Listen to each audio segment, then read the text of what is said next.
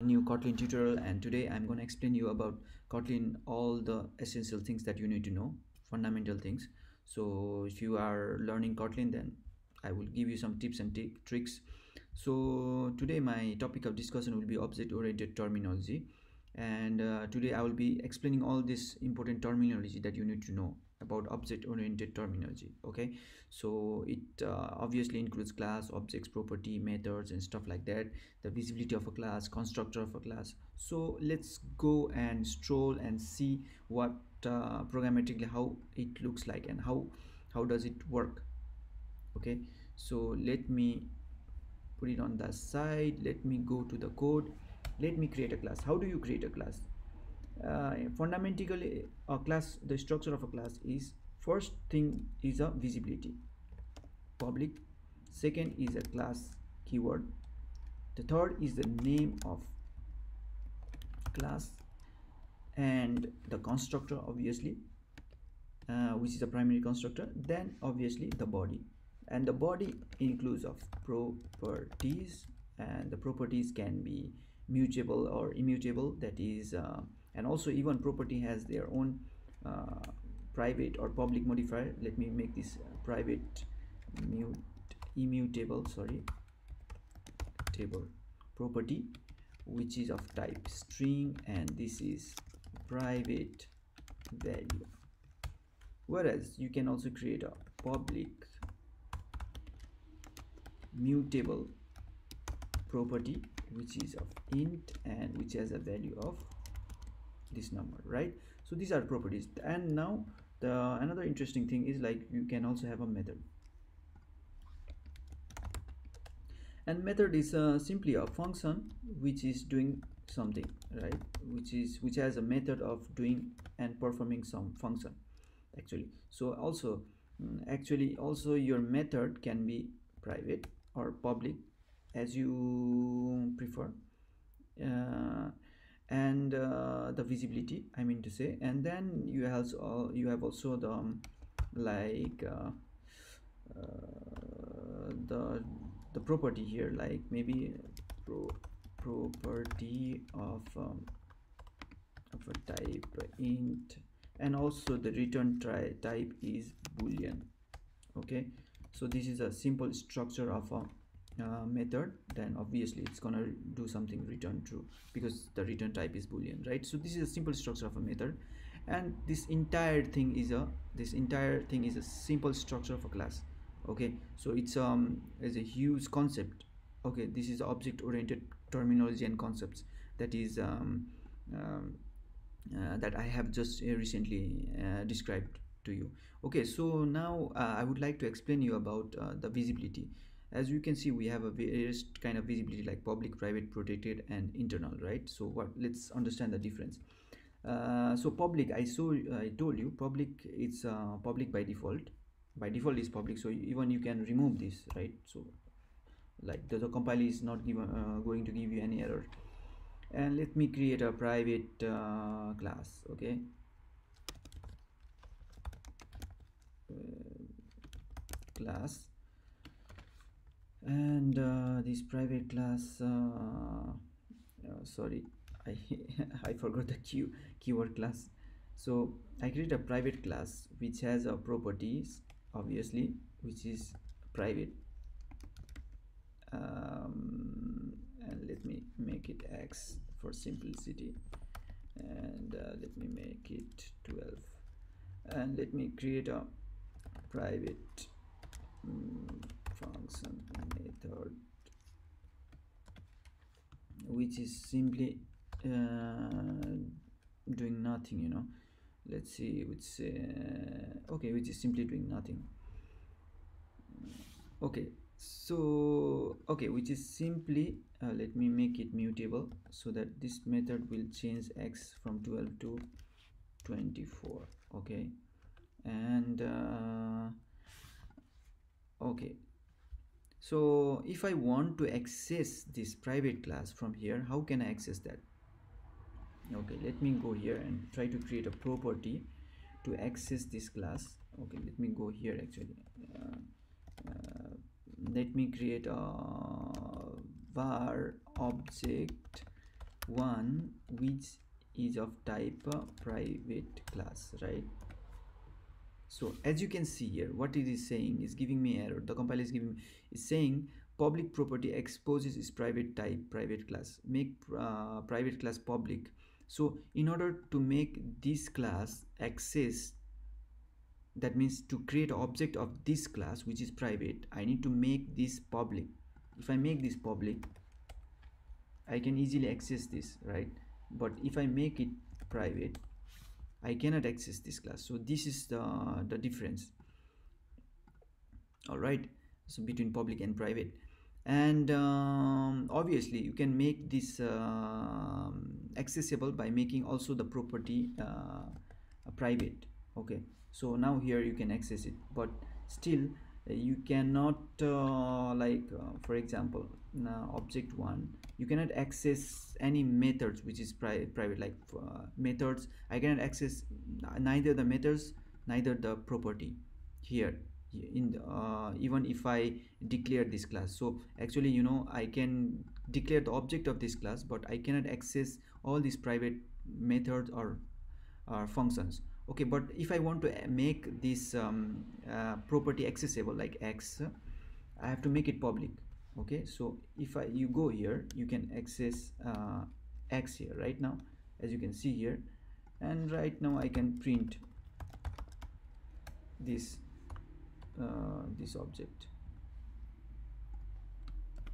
Okay and obviously it's gonna print out to uh, print out the x value. Okay uh, 12 but if I you uh, want to access the method and try to uh, mutate the value I can also make this public okay? So this is the simple uh, uh, difference between public and private. So now uh, protected. So what is the difference between protected okay? Protected is actually also um, uh, same as private but there is a slight difference. The slight difference is subclass can see it if property is private. So sub it says that the subclass can see this protected value. So let me create um open outer class. Uh, okay let me create outer class uh, which has uh, sorry sorry i always forget the class keyword. Sorry. Okay that's it. And uh, let me create a uh, protected inner class okay? In a protected class inner class. Right? So this is a protected class. I mean there's a protected value okay? I mean like right now i'm trying to desc describe you about the the class but actually you can also have a protected property right? Uh, property and which is of type int and like the value is uh, uh, okay anything. Oh sorry. Which is of type string.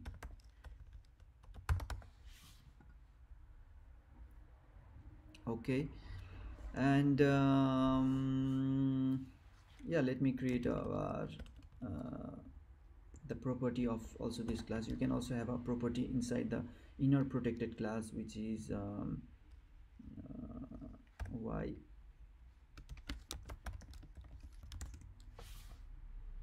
Cool. So let's see how we, if we can create some object of this class okay so let me create a object 2 and access this uh, inner class actually you know I cannot access the inner class if you can see here I cannot uh, access the inner class because I don't have uh, uh, the inner class is protected and which is inside the inside the outer class right? So let me create the outer class okay uh, the object of outer class yeah outer class is I can access the outer class because it's open class and um, okay I would like to understand how I can access this inner class. To access this inner class I need to make a subclass. This class as a subclass of outer class. So if i make a subclass of this outer class so this is like an inheritance okay? This is another important concept object oriented concept that is inheritance. Means it's like inheriting this class is inheriting all the important properties of this class okay? And uh, let me create uh, object 2 and access um, inner class. Yeah for the moment i can access the inner class but even like i cannot um, uh, like uh, access this um, inner class you know. I have the um, to access uh, this inner class i need to make this private okay? Because it's a protected value uh, or protected or private. Cool so this is the difference guys. So and um, another interesting thing is let me make this private okay in our class. And uh, okay let's create uh, uh, let's print and let's access the protected uh, property okay? Like I have object 2 which is inner class. Um, object 2 and I want to yeah because this is uh, is public. Okay I can access y. Let me make this protected. Yeah if I make it protected I cannot access y. No I cannot see y right? So yeah this is the difference okay? To make this public. Okay so this is uh, the um, important concept of visibility. And finally we have an internal. So what is this internal? Uh, if you create an internal keyword with the class. Internal. Actually this internal class is uh, accessible uh, in your whole module you know anywhere in the same project in the same module. Because the module is something like okay i will explain you what is a module. Like if you go to the project you can see if you go to your app source okay actually it's uh, for the moment we have only one module you know? Okay i will try to explain the module in this way. Like for example if you see we have only one module that our module is my cool app that app as you can see here. So we can have similar in this way we can have different modules okay? I mean like we can have two or three applications for three or four flavors. So you can have in this case you will have three or four modules right? So uh, so maybe for one feature having one module you can make this internal means the another feature will not access this um, pro, uh, this class you know. So that is the difference. Uh, so in this case uh, internal um, like keyword will be uh, very helpful. And uh, yeah so uh, okay i think i explained you about the visibility case so i would like to create explain you about the constructor for the moment. So what are uh, difference between primary constructor and secondary constructor? Okay let me create some cool classes which is uh, obviously a public class and uh, which is a class with constructor. Okay class with the primary constructor. So uh, this constructor has a value val um, x int uh, or y boolean. All right? So this is the simple co constructor okay? And it is a primary constructor of a class. We can have one or more secondary constructors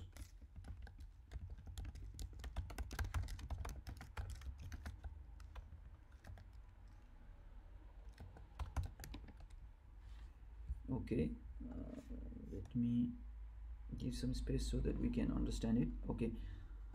And how do we create a secondary constructor? To create a secondary constructor we just need to have a keyword and uh, this.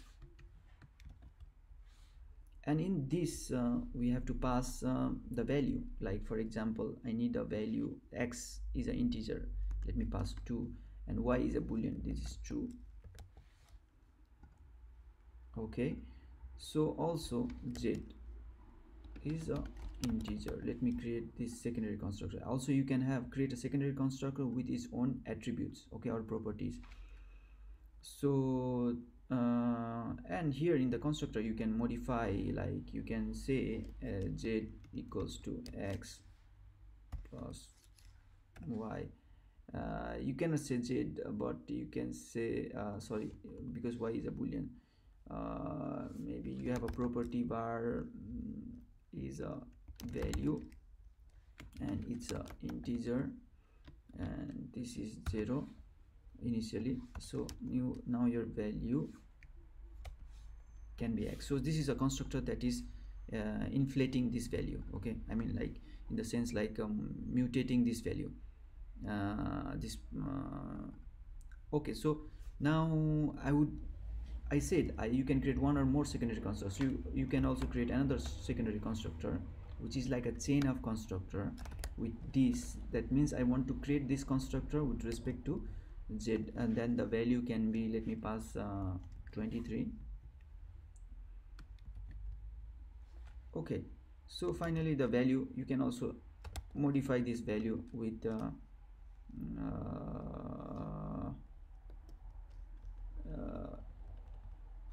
yeah you can also actually it's an empty constructor so it's not in, not not taking any parameters. So you can uh, create this constructor uh, by passing this value. Okay so you can uh, the value is passed from here.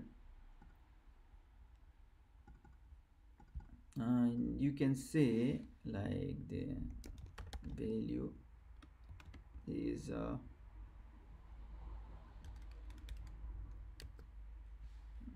x. Okay because actually the x is uh, coming from here the parent. Uh,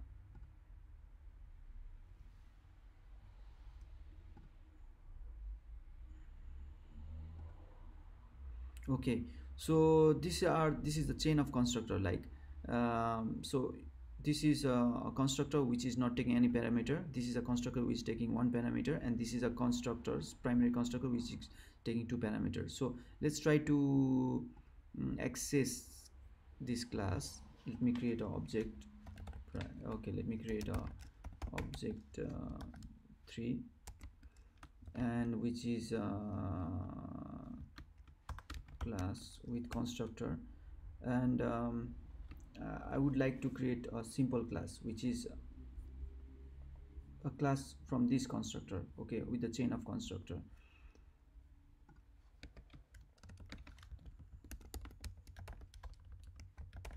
Secondary empty constructor okay. So now let me create object 4 with the class with the constructor but secondary constructor with the non-empty secondary constructor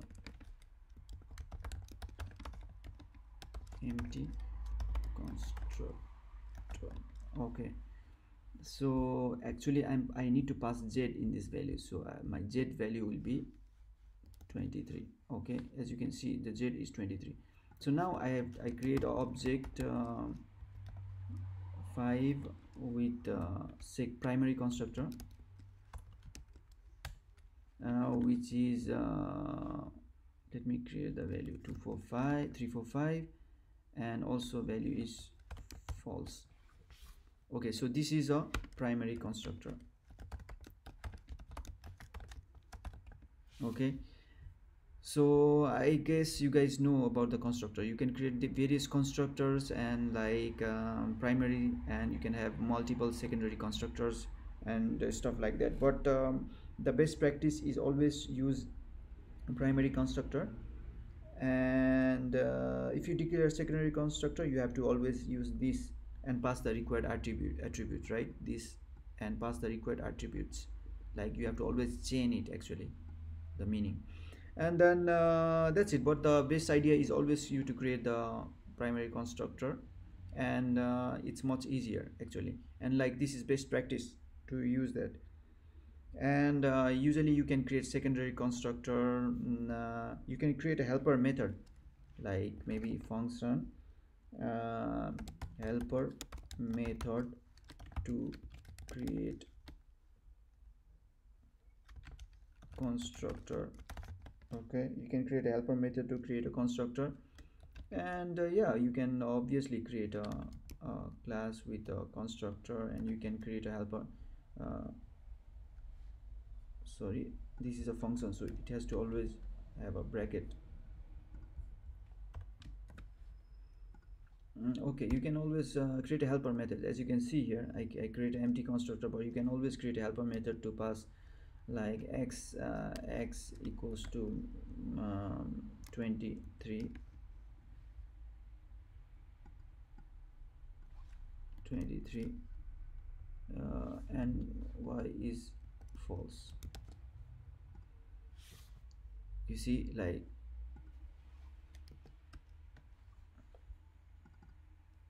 you see like you can create a uh, also create a, a helper method to create a, a, secondary constructor. So this is much uh, better rather than having creating constructor like this okay? So this is the best practice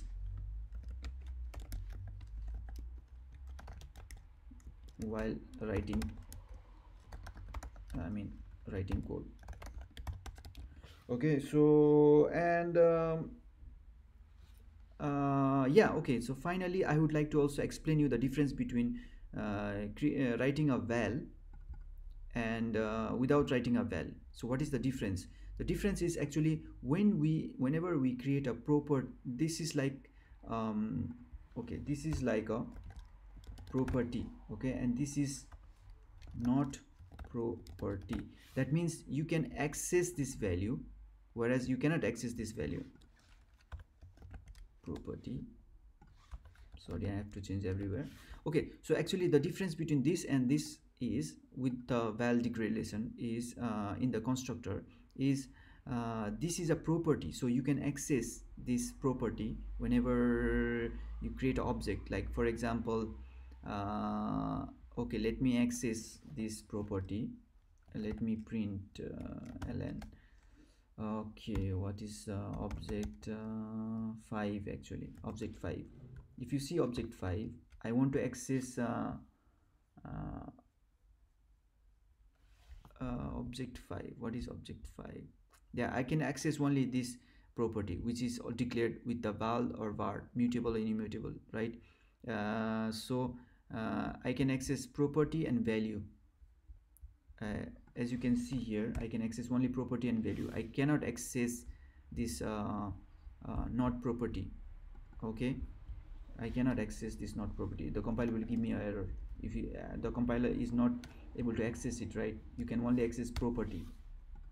Okay so this is this was the difference when you create the um, constructor uh, in this way and I guess I explained most of the interesting topic I mean interesting concept about uh, this object uh, oriented terminology. And uh, yeah guys um, so if you guys have not subscribed yet just please subscribe me and support me. And I will be coming with uh, some cool uh, uh, amazing tutorials later on.